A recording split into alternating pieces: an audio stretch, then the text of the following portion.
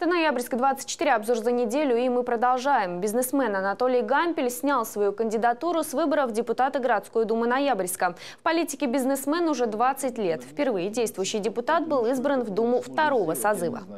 Самая хорошая дума была, так как мне есть чем сравнивать, была третьего созыва.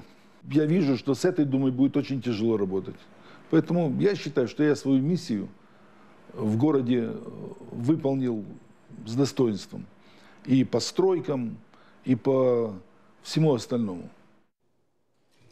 Ранее территориальный избирком Ноябрьска опубликовал сведения о кандидатах в депутаты городской думы Ноябрьска. По данным ТИКа, заявление подали 84 человека. Список на официальном сайте ведомства и, согласно размещенным данным, четверо кандидатов в парламентарии ранее были судимы. Так двое имеют погашенные судимости за кражу. Один за эффективную регистрацию иностранца и последний за неуплату алиментов. Напомню, выборы назначены на 8 сентября 2019 года. Купальный сезон в Ноябрьске завершится уже 5 августа. Через неделю спасатели и медики завершат свои дежурства на единственном городском пляже берегу озера Светлое. С начала лета ни одного ЧП с пострадавшими на водоемах Ноябрьска не случилось. Год назад утонувших было трое. Чтобы не допустить трагедии, отдыхающим не устают напоминать о правилах безопасности.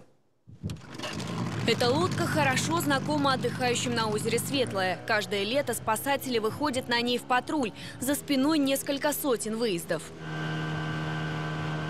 Официальный пляж в городе всего один. Рядом с ним дежурят не только спасатели, но и скорая. Это стопроцентная зона безопасности. Дно очищено от мусора, берег убран, а зоны купания помечены буйками, чтобы не приближались лодки. При этом так называемых диких пляжей в городе много. И, говорят спасатели, они для людей точно небезопасны.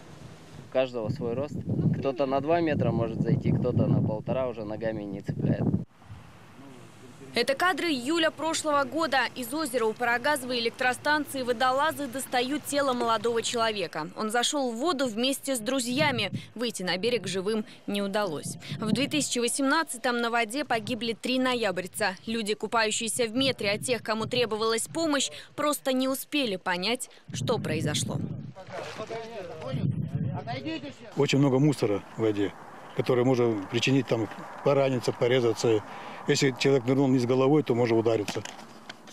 На территории Ноябрьска 8 водных объектов. 7 из них под запретом для купания. Нарушение правил влечет за собой наказание. Этим летом уже 10 человек оказались в списке нарушителей. Значит, санкция административное наказание в виде предупреждения, либо административного штрафа от 500 до 1000 рублей. Один из таких нарушителей – знакомый Валентины Бырки. Мужчину оштрафовали за попытку искупаться в Ханто. Поэтому, говорит женщина, в выборе места отдыха приоритет отдали все же пляжу официальному. Когда заходишь, чистая вода. И дно, да, видно? И дно видно, да. И здесь хорошо отдыхать. Пожалуйста, беседка, столики. Мы уже здесь второй раз за это лето. Хорошо. Купание в несанкционированных местах, говорят спасатели, как игра в русскую рулетку. Здесь раз на раз не приходится. Очередной заход в воду может стать последним. Зацепиться в воде за корягу или уйти под воду на резком обрыве дна – дело нескольких секунд. Яна Джус, Александр Иванов, Ноябрьск, 24. Среди причин, по которым отдыхающие не хотят ехать на официальный пляж, плохая дорога. По пути на светлое машины просто застревают. На портале «Мой Ноябрьск» появилось обращение, адресованное администрации города. Автор предлагает рассмотреть возможность уложить на дороге асфальт или хотя бы бетонные плиты и по возможности запустить пассажирский автобус. Журналисты «Ноябрьск-24» обратились за разъяснением городской администрации. Комментарии рассчитываем получить в ближайшее время. Штрафуют жителей Ноябрьска из-за разведения костров. В выходные протокол об административном правонарушении оформили на двух человек. Теперь им нужно заплатить штраф в размере 4000 рублей. Еще двое получили предупреждение за то, что проигнорировали запрет на посещение лесов. Ограничительные меры введены с 13 июля из-за напряженной обстановки на Ямале.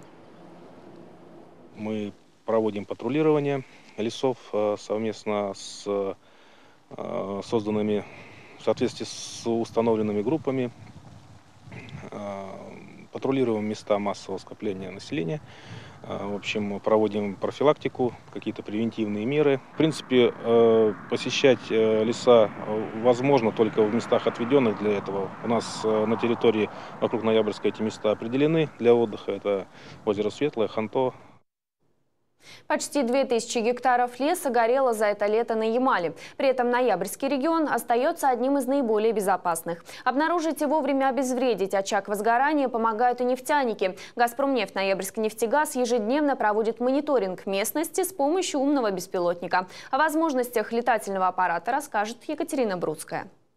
Есть максимум, есть. На проверку перед полетом не больше пяти минут. Вместо взлетной полосы небольшая подставка. На месте пилота камера высокого разрешения. То, на что раньше уходило много времени и ресурсов, стало проще и доступней. Этому аппарату не нужен ни бензин, ни дизель. Он работает от обычного аккумулятора, может так пролетать 4 часа. Но самое интересное, что весит он всего 12 килограмм, поднять может даже девушка. Но это далеко не игрушка, ведь решает она очень важные задачи. Ежедневно умный беспилотник пролетает около 600 500 километров. Его глазами специалисты «Газпромнефть» Ноябрьск нефтегаза осматривают напорные трассы трубопроводов, следят за ситуацией на месторождениях. Для того, чтобы определить текущее состояние трассы напорных нефтепроводов, есть ли какие-то непроектные залегания, есть ли у нас какие-то повреждения или размывы, либо нахождение э, третьих лиц на, в охранной зоне трубопроводов.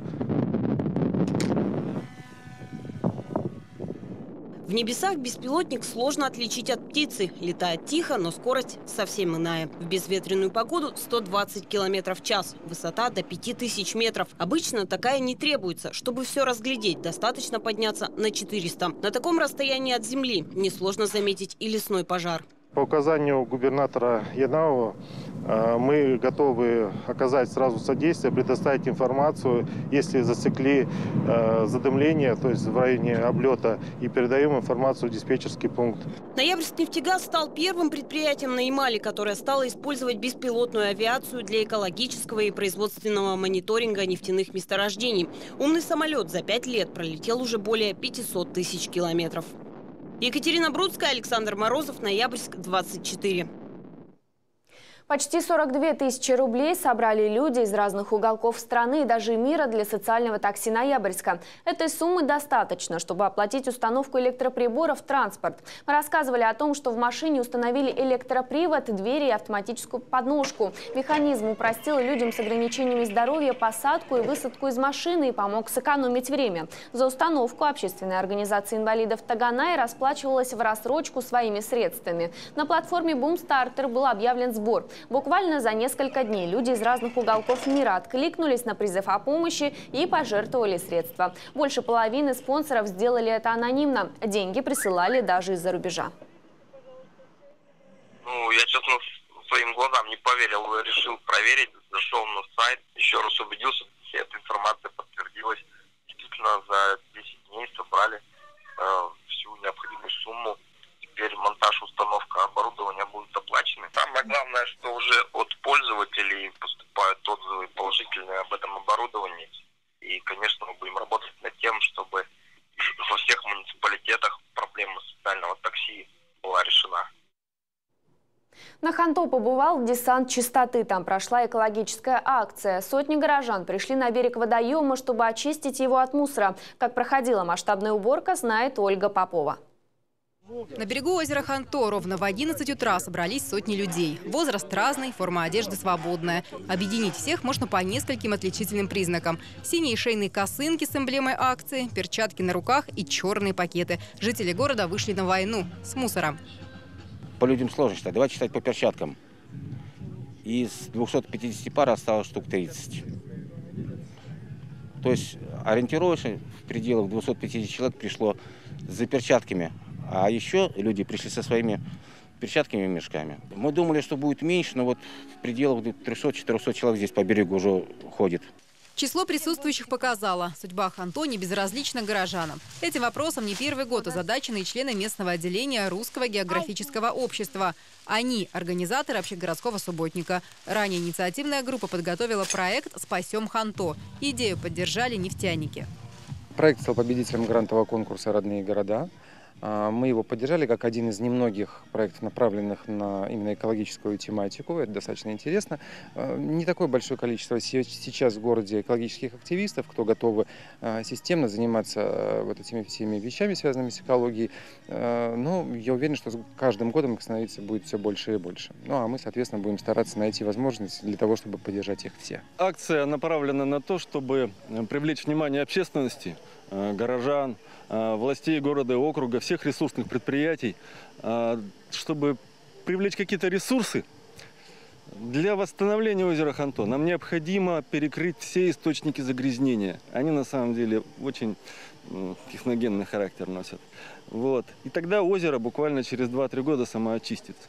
Просто нужно немножечко вложиться в него. Задумка вполне осуществима. Слова активистов подтверждают и ученые. Грязь в озеро приносит ручей, который течет со стороны гаражных кооперативов. Эту проблему можно решить. И можно решить очень легко. Самое главное, нужно увести ручей. Вот. Это все знают, все понимают, но никто не хочет увести этот ручей просто от озера, чтобы вода из ручья не попадала в озеро. В основном окурки, сигареты, но стекла были. Ну, просто стекла надо больше убирать, потому что люди могут босиком ходить, наступить и что-то проткнуть себе, а потом и ранения, и травмы всякие. Итог этой акции – 4 куба мусора, вывезенные с пляжа. Две новые беседки, их тоже приобрели за средства гранта. И главное – чистая территория. Надолго ли – зависит от всех нас. Ольга Попова, Александр Иванов, Ноябрьск, 24. Еще больше новостей на сайте Ноябрьска 24 в официальных группах телеканала в социальных сетях.